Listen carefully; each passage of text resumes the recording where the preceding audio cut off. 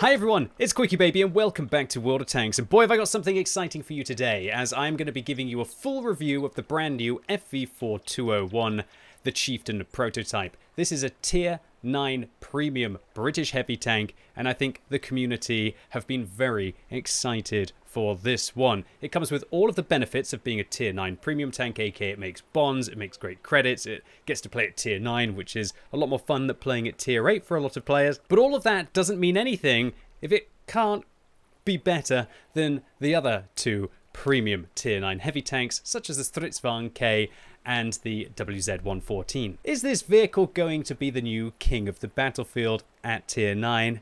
Well, you're just going to have to wait and see. We're going to be diving into some gameplay after we see how it stacks up to compared to its competition. So firstly, let me highlight something important, and that is the Chieftain has received a micro patch which increases its top speed from 35 to 40, its reverse speed from 12 to 13, and its power to weight ratio to give this thing 15.6 instead of 14.4. And so if you think I'm going crazy when I'm discussing the statistics of the mobility of the Chieftain prototype, please take that into account.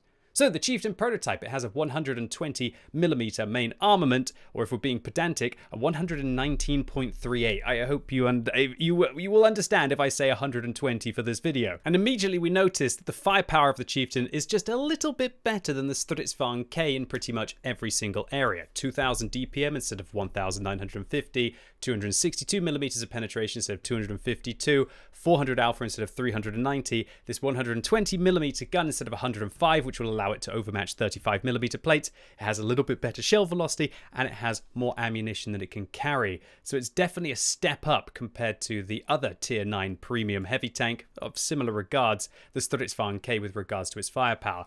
When we compare it to the Conqueror and the Concept, however, its gun doesn't seem so outrageous. The Concept has better shell velocity, much better DPM at 2,181, nearly 10% better than the Chieftain. And we also need, need to take into account that the Chieftain has APCR as standard compared to the Conqueror's armor piercing rounds. And remember, armor piercing rounds are better if they have decent shell velocity because they get 5 degrees of normalization instead of 3 degrees of normalization, which will mean that the Conqueror has actually significantly more penetration effectively. So the Chieftain prototype, it's not some new damage dealing monster, but this gun and this firepower do feel brutal nonetheless. This isn't like the WZ-114, which has terrible damage per minute. This thing will pick you apart, not really, really quickly, but comparably to other tier 9 heavy tanks. Now let's move on to the gun handling of this tank, and this is where it's really bad news for the Chieftain prototype. 2.7 seconds aim time, that's poor. Uh, 0.8 seconds worse than the Conqueror, for example. 0.37 accuracy is a little bit better than the concept, and so if you've played a concept, you'll know roughly how accurate this tank is going to be, but it's significantly worse than the Stridsvagn K and the Conqueror. Now to move on to the gun handling of this tank. It's bad, there's no other way to say it. 0.22 when moving and when turning the tank, and 0.13 when turning the turret makes this massively worse than the concept. The concept, without vertical stabilizers, is kind of like the Chieftain if it was using a Bond vert stab. And so don't think that you're going to be able to drop vertical stabilizers on this tank to either use a durability device, vents, or maybe even a turbo, whatever you fancy, without really suffering with the, the bloom and also the aim time on this tank. Accordingly, when you're fighting a Chieftain prototype, and inevitably you will be seeing them a lot on the battlefield when this video is released, as people get them from the uh, engineers' starters keys, effectively the loot crates that people are going to be picking up today. Try and keep moving and don't just sit still with your weak points because you can really make it miss probably quite a lot compared to other heavy tanks which would be far better at snap shotting. So the mobility of this vehicle is very comparable to the Stridsvagn K. It has a 15.6 power to weight ratio. Again, remember, I'm not going crazy. That's the buffed engine power of this vehicle, which is a little bit worse than the Stridsvagn K, but its top speed is the same forwards, but backwards it goes 5 kilometers an hour slower as it has a 13 kilometer an hour reverse speed. That's definitely better than a Conqueror. It's not nearly as good as a concept, however, and the concept does feel as if it's whipping around the battlefield far faster than the Chieftain could imagine. Another thing to mention about the Chieftain prototype is the turret traverse is not nearly as good as the other vehicles in this comparison, and its effective traverse speeds also make it feel quite sluggish. But remember that those will be pumped up with the vehicle's extra engine power. And so those effective traverse speeds on Tanks GG are likely to get pumped up to probably near the levels of a Stridsvagn K, for example. And so if you do have a Stridsvagn K already, you should know that that's the kind of mobility you're going to be getting with the Chieftain prototype.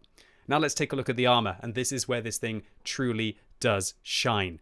Maybe not so much on the hull. 80 at the front, 60 at the side, 35 at the rear, but look at this turret. 350 millimeters of turret armor on the front and 110 at the side. This means that when the Chieftain is not using any of its gun depression, its turret armor, pretty much at the minimum, is about 320 effective. And so this means that even 310 millimeters of gold pen stands very little chance of going through the chieftain. And that is before it's used its gun depression. And when it does, you do have this slight weak point underneath here, which is about 300 millimeters of effective pen.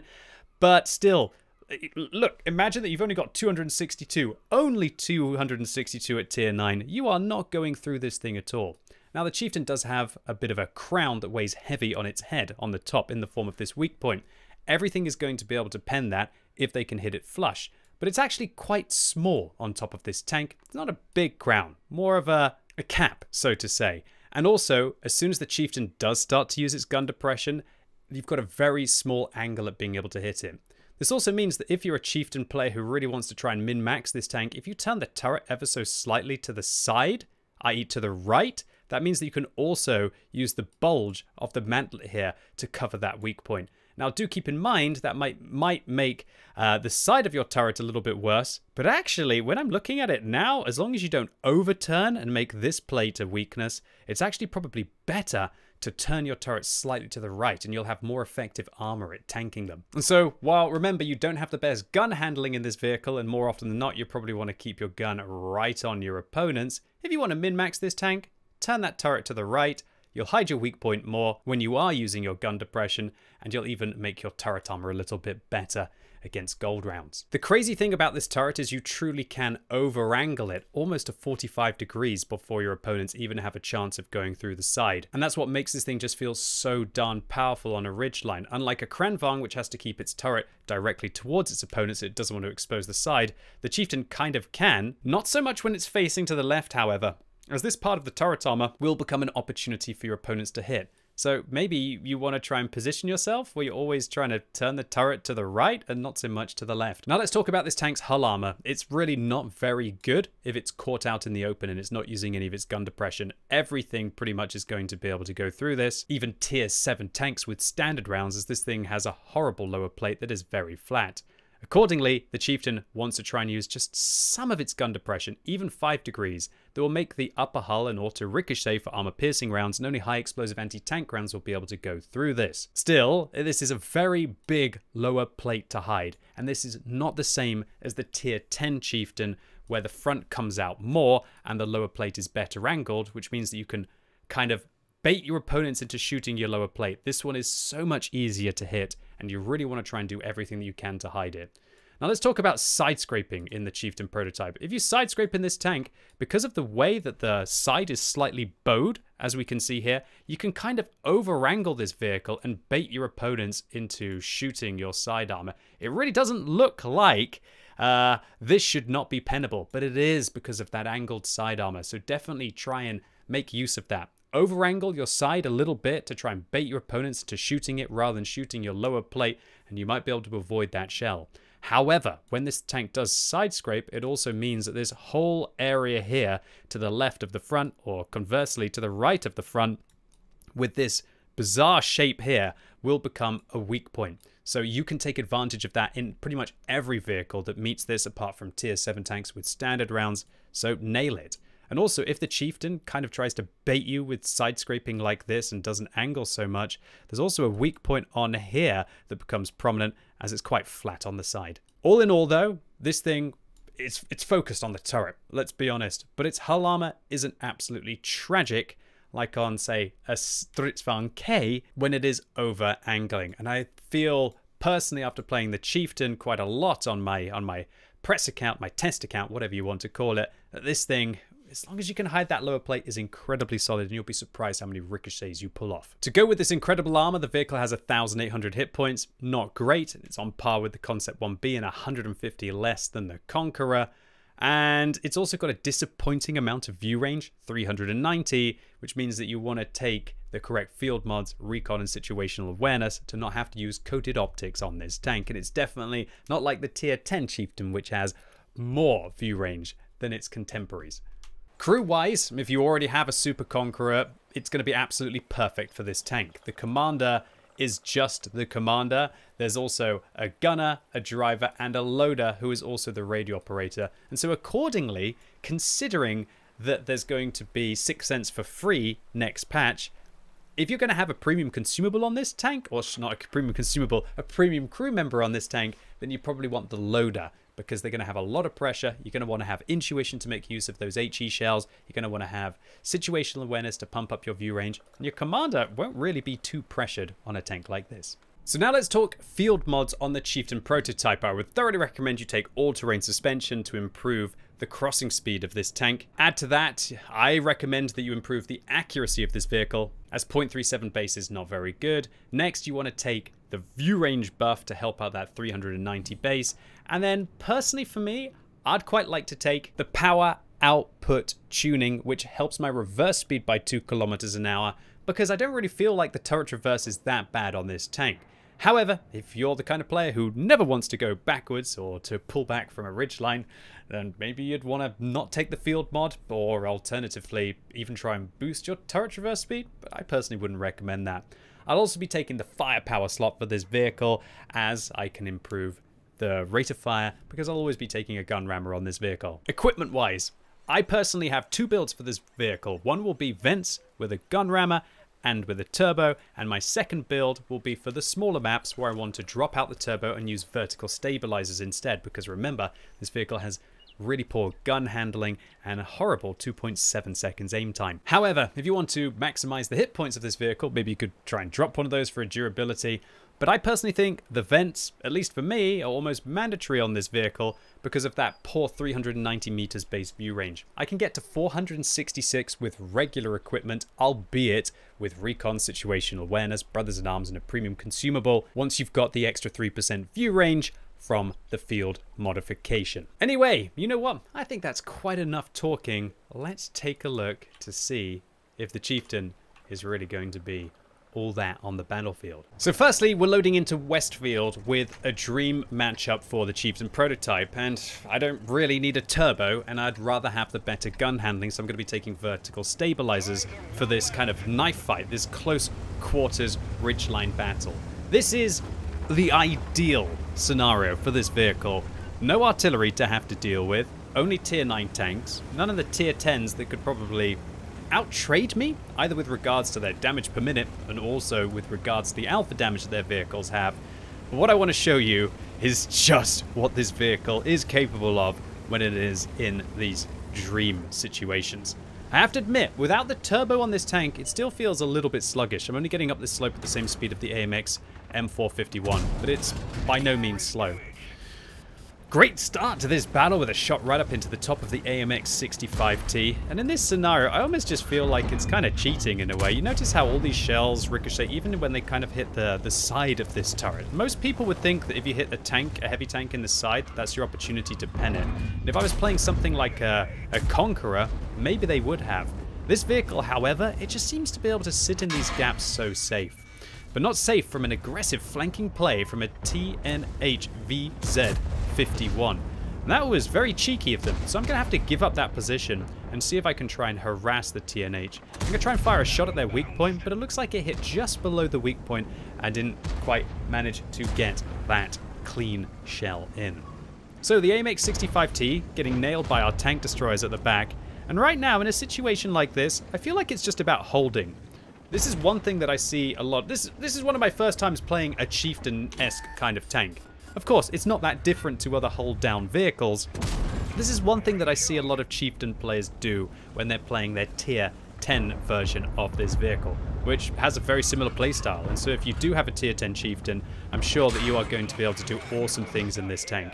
But I think you'll also be a little bit sad when you're playing this tank against tier 10s. And that is that this tank just does so well in holding a position and just saying, yo, come at me, bro.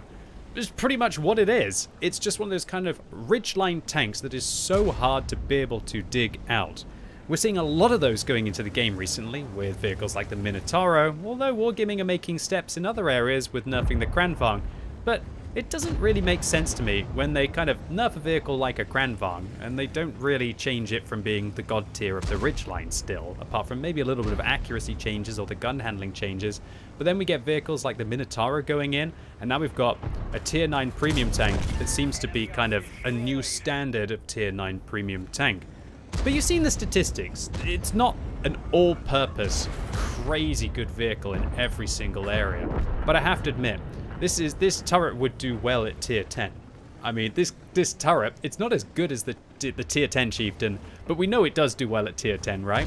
It's kind of like tier 9.5 this turret, or shall I say it's tier 10 turret, whereas the chieftain's turret is more kind of like tier 11. It, it, the tier 10 chieftain is at tier 11. If this is getting confusing for you, what I'm trying to say is don't expect this thing to be as good as the tier 10 chieftain but expect it to be pretty much on par with most other tier 10 tanks and also way better than other tier 9s with regards to its, its durability on a ridge. I've never felt so safe in a tier 9 tank as I did with my play in a vehicle like this on a ridge. Sure, maybe it's early days, maybe people don't know how to engage this tank. Maybe when more people figure out about the weak points on top, that they'll be able to hit it. But again, when you're using this 10 degrees of gun depression, it's not the easiest thing to hit. And 0.37 accuracy is not great, but it's by no means bad, you know? I do well playing my Soviet tanks when I'm slapping in rounds, when I've got 0.4 accuracy or 0.44 accuracy.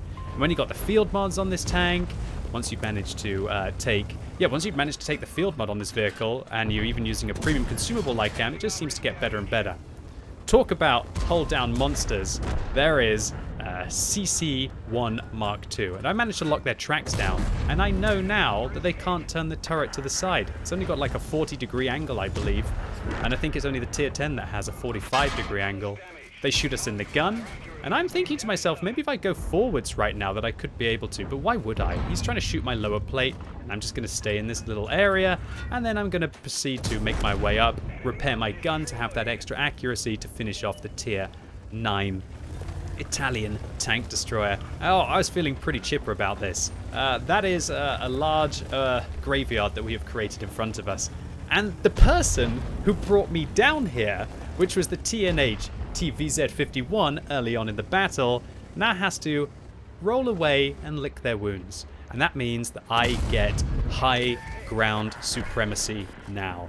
And well, it's the dream, really, for this tank. It's interesting because when I look at the Conqueror, it's it's definitely not bad, and I'd say the Conqueror turret, it's it is worse than the the, the Chieftain prototypes turret.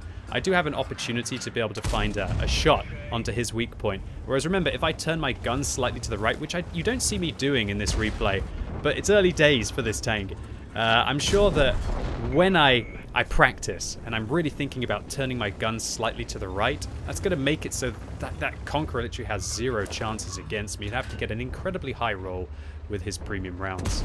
I just feel so safe right now, man. It's a safe place tank. Sure, it's it's a fortunate scenario for the vehicle. It's a safe situation. But how these there are loads of positions on maps where this is what you can do with a chief, right? 10 degrees of gun depression, I didn't even mention that when we were discussing the statistics of the vehicle, but to be fair, all of the vehicles in the comparison had 10 degrees of gun depression. Find yourself a ridgeline with that, work it, rock and roll, only expose your turret, outtrade, outshoot, outplay. It is, it's, it's a very satisfying gameplay. Uh, I'm not sure how much of an opportunity it does provide to my opponents to be able to counter it, however. Just missed the CS-52 LIS there. Now we're going to have to go at the G-Saw. They fired one shell, so they could have three. They're not going to be able to kill us with uh, that the rest of that magazine, but I'm still a little bit concerned. All right, down to two rounds now. Hopefully we can add to this. This has already been a monstrous game. We're up above 8,000 combined. We got six kills, and oh no, I was hoping I'd get a, a seventh there to maybe even be able to take a, a Radley Walters or at least have a have a go at one. But it's just my press account, you know. It doesn't really matter to me. The reason why I play this press account is for all of you. I have to play it off stream. Oh my god, I have to play World of Tanks off stream? What is this?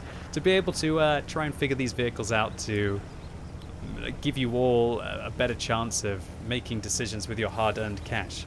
Because undoubtedly, you're going to have to gamble to be able to get this vehicle, at least if you want to have it on release.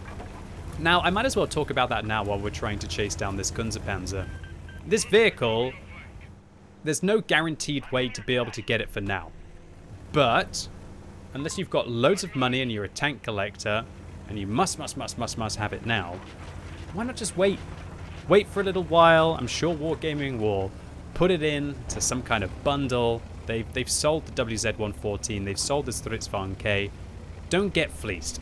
And here, I've already talked about this in my previous YouTube video from last week, but I want to clarify this, that with the way that the loot crates to be able to get this tank works, is each one has 2.5% chance to be able to get at this vehicle. Now, th the problem is, is that while you do have 2.5% chance to be able to get this vehicle. That's if you already have all of the other vehicles. And so you've got a 2.5% chance, i.e. you'll have to open like 50 crates to be able to get one tier 8. And it could be any of them. There's no guarantee it's going to be this one. So don't do it. The only people that I would recommend to be able to pick up this vehicle are people who already have all of the other tanks and are willing to open at least 50 crates to have a 50-50 chance of getting this one or a vehicle that I will review in the subsequent days, the KV4 KTTS. All right, so you saw me taking on tier 8s and tier 9s.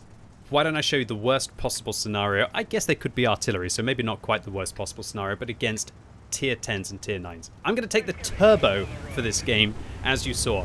And the reason for that is that I feel that being aggressive along the south is the best way to win this map. And I want to show you that a Chieftain prototype with a turbo is able to do things that a Conqueror simply cannot. And having that extra speed to be able to get into position and to have the, not only from the fact that this vehicle goes faster without the turbo, because it's 40 instead of 35 like on a Conqueror, but also to be able to then have the turbo to pump up that engine power even more and to have the extra top speed limit on top really can help you to be able to rush into those early positions of contention. Also, what's up with this? Mr. T110E3 says, I think the Chief P really ugly, and I do a sad face with a crying tear. Look, okay world, you know, British people, our looks are already made fun of. Our celebrities look weird, okay, and everybody thinks that we have bad teeth, which is probably quite true. Uh, Alright, but look, this is too far, okay? Calling our tanks ugly as well? This is outrageous. Anyway, let me focus back on the gameplay. And that is that I'm going to race into position. I'm going to tell this 277 that I'm going to be able to help them out. And I'm going to try and get into position to be able to nail the enemy 277. In this kind of a scenario, I don't probably want to sit here for very much longer because, yeah, I'm getting dumped on by the 54, but I'm bouncing a heat round. I'm absorbing the Char Futur 4's rounds. I'm surviving the push play because of the angling of the armor. We're going to put a round into the side of the 54. Turn around to try and help out our 277. While this is happening, an Object 140 is going to shoot me and ram me in the side.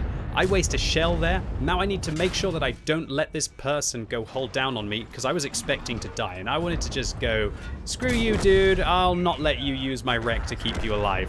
And I'm down to 92 hit points. But I made the push play. We've got three tier 10 tanks dealt with. And I think that this game is already starting to snowball into our favor because we've got all of the enemy right in front of us in a hull down scenario. We're getting our gun line forward, and this is how you win in World of Tanks. Anytime you can catch three vehicles like that is that's how you win in World of Tanks, really, especially from a Clan Wars perspective, but it's also how you can win in the random queue as well towards the high tier where people are confident in themselves and they like to play aggressively.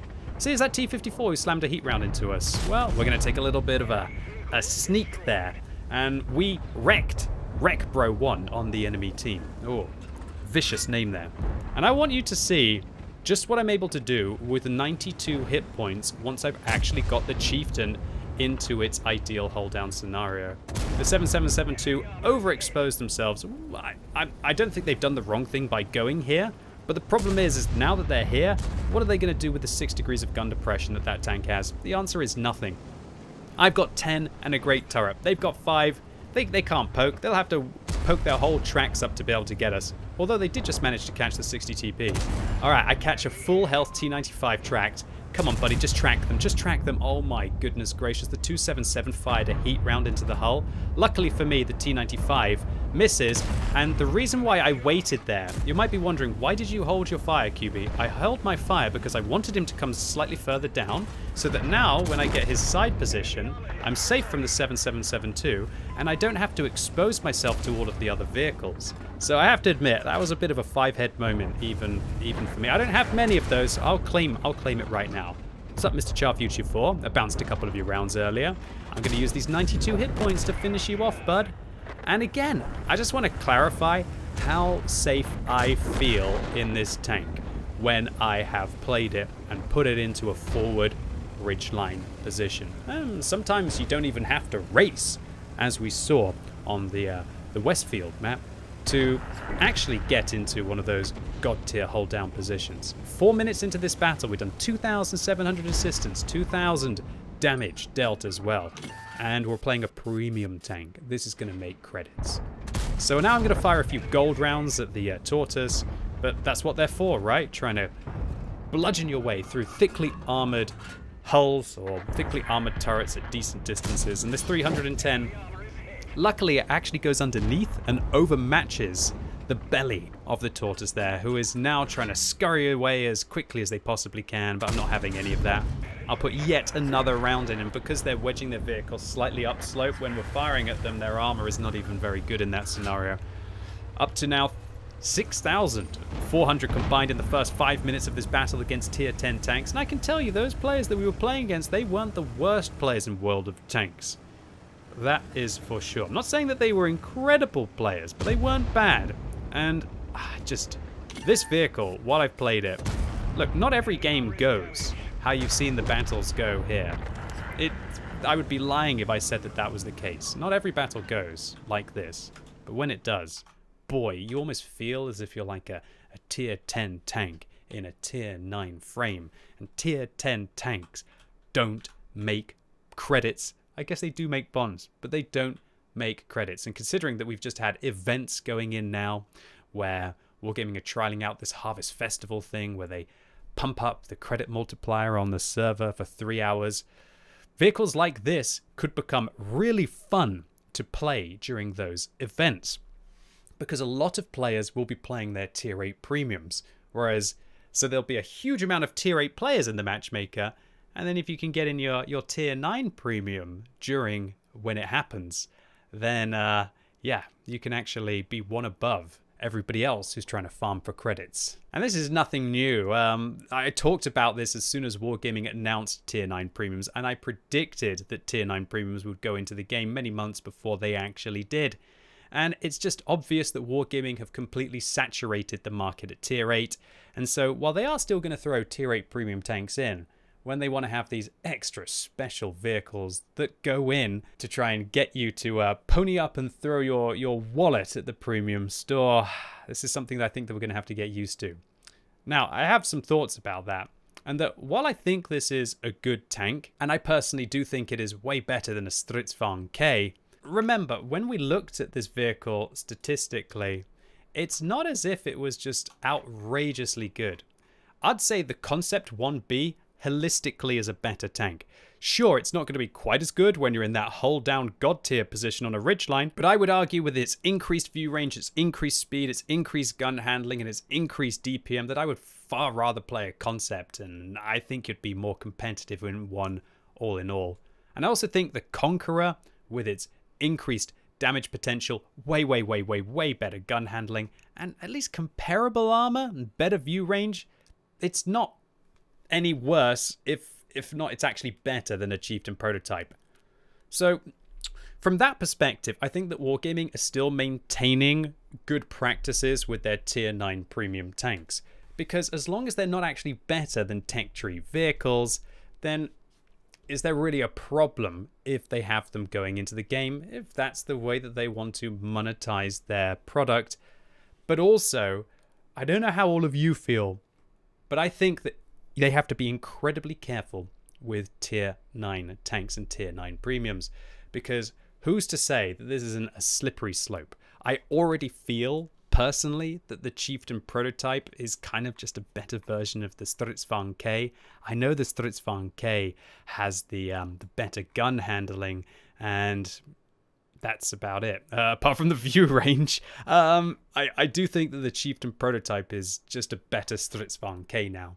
And I think Wargaming were incredibly careful to make the Stridsvagn K significantly worse than other tier 9 tanks. And I already feel now that we've reached the point where the Chieftain prototype is just as good as other tier 9 tech tree tanks. And it massively scares me in the future if Wargaming buff the Chieftain prototype statistics or they release other tier 9 tanks that take it one step further. So our first game on Westfield was an ace tanker, and I would say this would be an ace tanker even if this vehicle was released with 1,705 base experience for our over 8,000 combined, and the 6 kills that we picked up. And I make 116,000 credits profit playing such a comfortable, convenient tier 9 tank, albeit it was in a really nice scenario.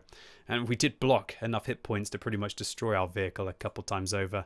For the follow-up on Sand River, well, let's just say I made those 80 hit points that we had absolutely shine. We get another ace tanker for this time only one only 1398, 3758 damage, 3000 assistance damage. Didn't fire that many gold rounds, 83,000 credits profit in a simple five minute mop up of the enemy team. This vehicle is as meta as it gets. If you've got a great turret and you know how to use it and you know how to work a ridge line, you are going to do incredibly well with a vehicle like this. I think this tank will be absolutely amazing for very good players who will know how to use the turret, who will know how to deal with the weaknesses that the tank has, and will know the different positions that they can go to to dominate the battlefield. I do think, however, that because of this vehicle's relatively lackluster hull armor, that this vehicle won't be very good in the hands of somebody who doesn't really consider how to use it and then its damage permitted is so poor that they might actually get caught out altogether.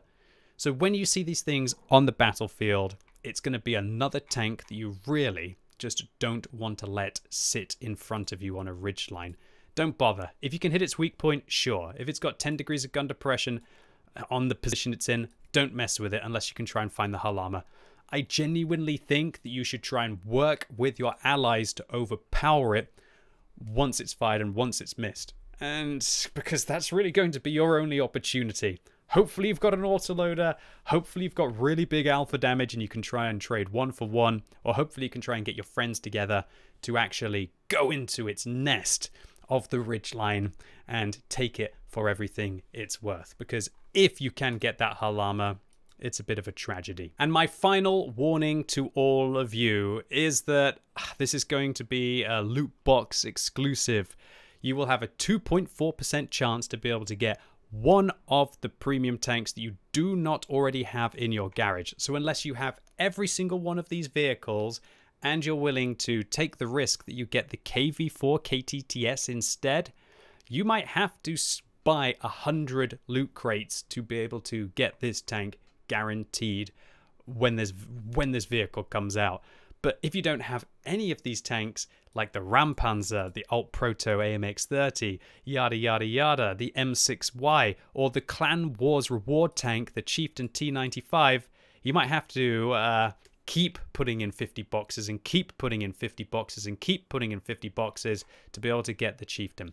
And Wargaming, I'd like to call you out for these underhanded garbage tactics. It's disgraceful that you keep introducing new sought after content inside loot boxes. And it's even more disgraceful that you put so much junk that so many people don't want to have inside these loot crates because you know that people will will accidentally get them or they'll pay 50 loot crates and then they'll get the one that they don't want because you know they're going to keep dumping in $50 or $100 into the Wargaming slot machine to be able to get the one that they truly want, which is not the KV4 KTTS. It's probably the Chieftain prototype. So, shame on you, Wargaming. Shame on you. Why is it too much to ask that when new content goes into the game, that you allow us to purchase it without gambling for 40 or $50? That is my caveat to all of you out there. Be careful with this tank and with the system in process. Do not expect that you're going to get it.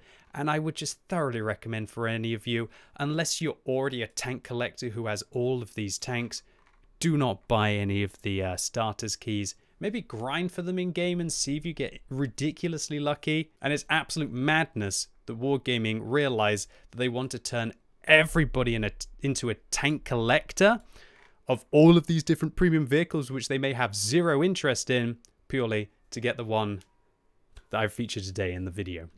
Anyway, ladies and gents, boys and girls, that was it for today. Really hope you enjoyed this video. If you did, give it a thumbs up, especially if it was useful. If you hated it, give it a thumbs down. And let me know what you think about the FV4201 Chieftain Proto. Do you think that it looks balanced? Do you think that it looks overpowered?